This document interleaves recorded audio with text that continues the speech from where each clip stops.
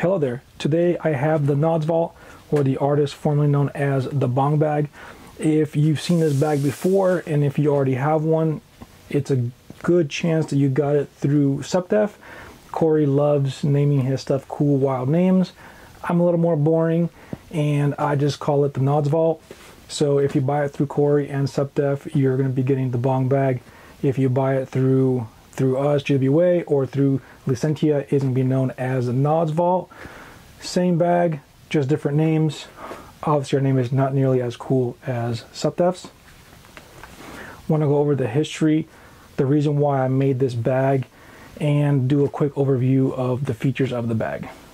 Starting off with the outside front of the bag, you'll quickly notice the SupDef version came slick with a label here on the Nods Vault, you will be getting a 2x3 inch field of loop Velcro for your patch or other identifier you on there, name tape, whatever you want. Top of the bag, both have the sleek and slim handle. Now I wanted something compact when I got my nods back in 2016, 2017. I got my first PVS 14s and I quickly re- realized that the market pretty much focused only on MOLLE pouches, padded MOLLE pouches that go on your plate carrier, but I wanted something slim and compact that fit in one of my backpacks. And I noticed that those pouches were too small. They pretty much held your nods and your bridge and maybe your manual, and that was about it. No room for your sacrificial lens, your 3x magnifier, any extra accessories, batteries, etc., etc., or even a second pair of nods. This will fit two pairs of, of nods as well. I didn't want a Pelican case. Pelican cases are heavy, they're rigid, they're they're very large, and I personally I'm not a huge fan of Pelican cases. They serve their purpose for for traveling in the airplanes. You want to have the extra security. In this case, I wanted something padded and compact and lightweight that also fit in my packs. Outside the bag, you have 500 denier Cordura. You have these number 8 YKK Aqua Guard zippers. The whole bag is pretty weatherproof. It's pretty weather resistant. The Cordura is water resistant. It has a DWR durable water repellency coating on the back. The Aqua Guard zippers are extremely water resistant as well. You'll notice on the bag there are no external straps or anything else like that. I want to keep the bag super slim, no snag hazards, just a very streamlined, very sleek carry handle. 17337 webbing. On the back here, you got these little pull tabs to just help you assist in closing the bag if you have it overfilled. Getting, getting into the bag, you open it up. The first thing you'll notice is the high vis interior. I always dug the high vis interiors on bags. It pops really nice, and if you're doing low light stuff, and the case with night vision, you're gonna want to have uh, something that's a little bit lighter color than you know if it's black bag black interior as well. One two three four compartments here which are elastic compressed sacrificial lens extra batteries clean cloths etc top zipper pocket this is what you'll use for your manuals. The vault also has a padded divider and this was a feature that was absent on the original prototype and I wanted to add something to protect your nods just in case you have some heavier objects on top. On the bottom here you have three dividers, so each bag comes with these three dividers similar to a camera bag. The inside is all loop lined so you can move these guys and modularize them, put them where you want them in the bag. You'll notice on the divider you have this extra velcro here and a pull tab. This guy will actually secure to the top. So if you want to open the lid and keep that separate, you can. And this guy will also attach to the bottom Velcro of the bag as well. Let me show you my loadout in my bag. Like on the other bag, one, two, three, four compartments. Got some extra batteries here. I got my PVS 14 iPhone camera mount adapter there. A couple sacrificial lenses there. Top zip compartment. I got my manual. I got the paperwork that came with the nods. I got some cleaning wipes for the lenses as well. Uh, step down adapter for a DSL, DSLR attachment that I have. Open this guy up. bridged dual PVS 14s here. This is my iPhone DSLR mount. If I want to separate one of the 14 from the bridge, I have this Wilcox arm that I can attach it to a single helmet. I got the bridge here, the mount, Wilcox. So in this case here, I took out one of the extra dividers, didn't need it. So you notice the size of this thing. You can fit two nods in here, two sets of binos. Um, this will fit 31s, DT NVGs, pretty much Sentinels, pretty much all the most, most popular night vision goggles in the market. You can even fit the quads as well. GP NVGs will fit in here just fine. And if you don't own nods, it was funny when when SupDef released initially, people were saying they bought the bag, they didn't even own nods. I mean, it's cool too.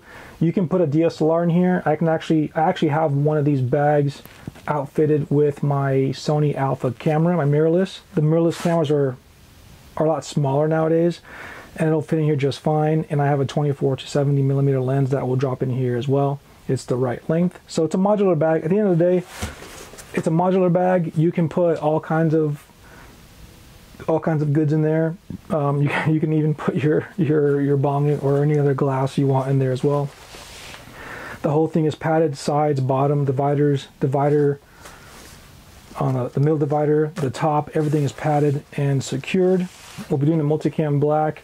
The first batch will be available through Licentia Arms. Very cool guys there. Very, very nice high-end night vision company. We'll be offering more colors coming up as well.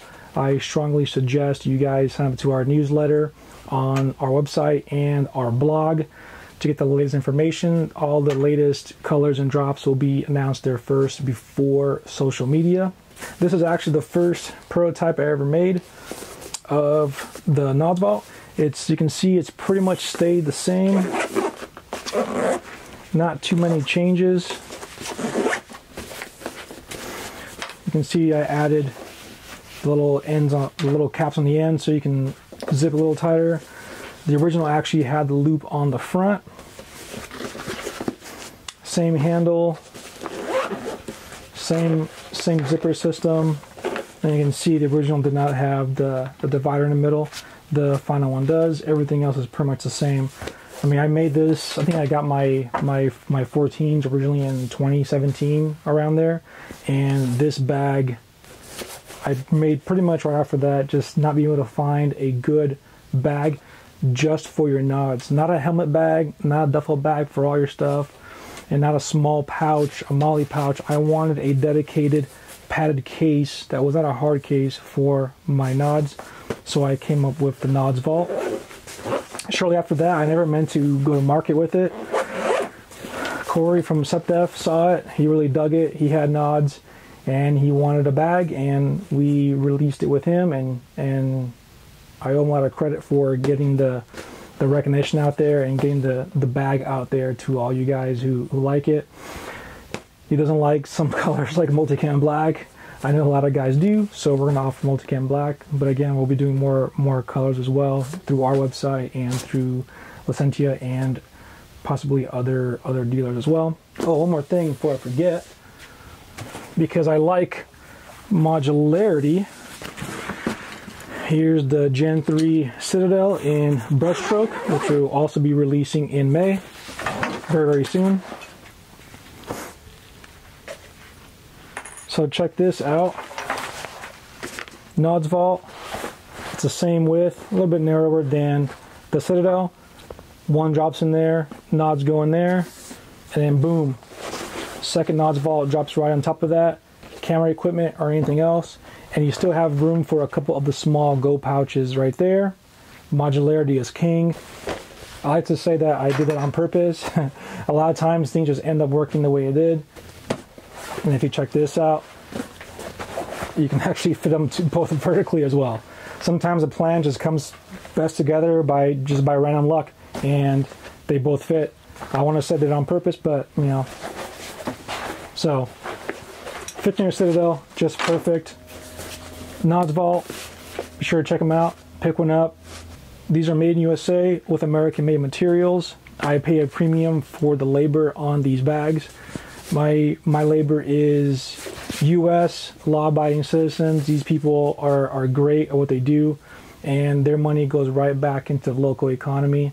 And I like to keep that way. So my stuff costs a little more. I get it; it's expensive, but I like to think that the money is going to not some faceless corporation, Jeff Bezos. It's going into a a community of, of sewers and keeping the, the sewing industry alive in, in the area. So again, be sure to like, subscribe, all that fun stuff. Join the newsletter, uh, sign up for the blog as well. Check all that stuff out and we'll be getting more and more product out there. Again, this has been the GWA Nods Vault.